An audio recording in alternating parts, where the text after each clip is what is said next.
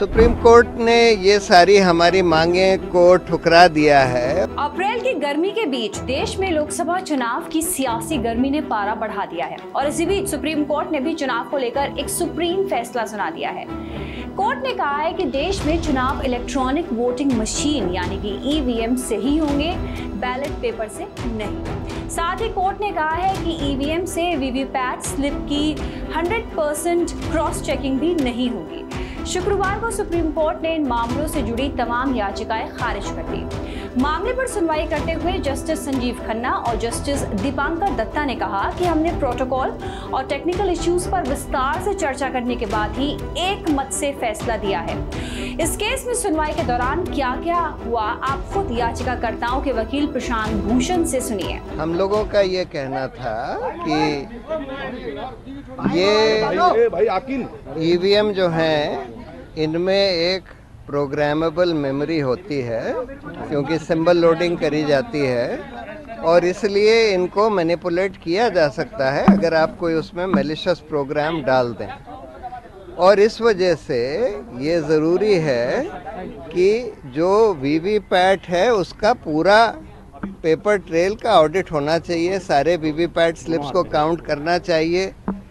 और क्योंकि वीवीपैट में भी काला शीशा लगा दिया गया था तो इस वजह से हम लोग ये कह रहे थे कि या तो उसका ट्रांसपेरेंट शीशा करिए और या नहीं तो उसको जो स्लिप जो प्रिंट होती है वोटर के हाथ में देकर और उसको उसमें बैलेट बॉक्स में डालकर हाँ, और उसकी काउंटिंग कर लीजिए। इसके बाद प्रशांत भूषण ने बताया कि सुप्रीम कोर्ट ने इस मामले में फैसला सुनाते हुए क्या तर्क दिए वो भी सुनिए।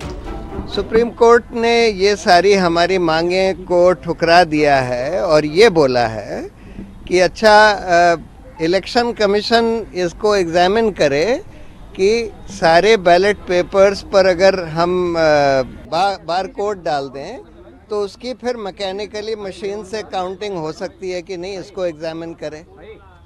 और दूसरा उन्होंने ये बोला है कि सिंबल लोडिंग यूनिट जो होती है, जिससे symbol loading constituency by constituency करी जाती है, उसको कम से कम 45 दिन तक चुनाव सील करके रखा जाए और चुनाव के बाद कम से कम 45 दिन तक रखा जाए, जिससे कि अगर कोई इलेक्शन पिटिशन फ़ाइल होती है, कोई उसकी कोर्ट मांग करता है तो उसको देखा जा सके।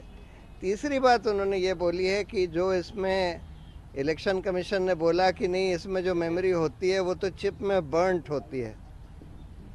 और तो कोर्ट ने ये बोला है कि जो भी बर्नट मेमोरी है, उसमें पाँच, हर असेंबली कंस्टिट्युएंसी में पाँच V V PAT sorry EVM units की बर्नट मेमोरी को एग्जामिन करने का नंबर टू या नंबर थ्री कैंडिडेट दरखास्त दे सकता है और उसको फिर एक टेक्निकल टीम एग्जामिन करेगी, लेकिन उसका खर्चा उस कैंडिडेट को देना होगा जो उसकी मांग करता है। ये कह के उन्होंने ये सारी पिटिशन डिस्पोज ऑफ़ कर दी। दरअसल सुप्रीम कोर्ट ने इस पूरे मामले में लंबी सुनवाई के बाद जब फैसला सुनाया तो दो अहम निर्देश दिए। पहला सिंबल लोडिंग प्रोसेस को पूरा होने के बाद सिंबल लोडिंग यूनिट को सील करें और 45 दिन के लिए स्टोर करें। दूसरा, नतीजे आने के बाद अगर दूसरे या तीसरे नंबर पर आए, किसी कैंडिडेट को गड़बड़ी का शक है तो सात दिन के अंदर शिकायत करे।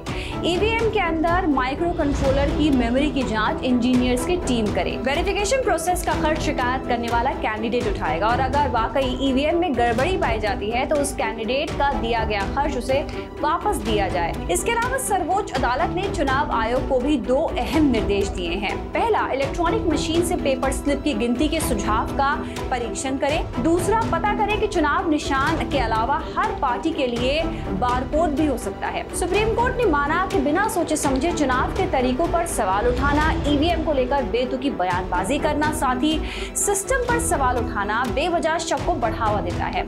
आम जन को इससे बचना चाहिए, साथ ही जिम्मेदार पदों पर बैठे लोगों को इस तरह की भ्रांतियाँ फैलाने से बचना चाहिए। नमस्कार। श्रेष्ठ भारत पर खबरों से जुड़े रहने के लिए चैनल को सब्सक्राइब करें, बेल आइकन दबाएँ और देखते रहें श्रेष्ठ भारत।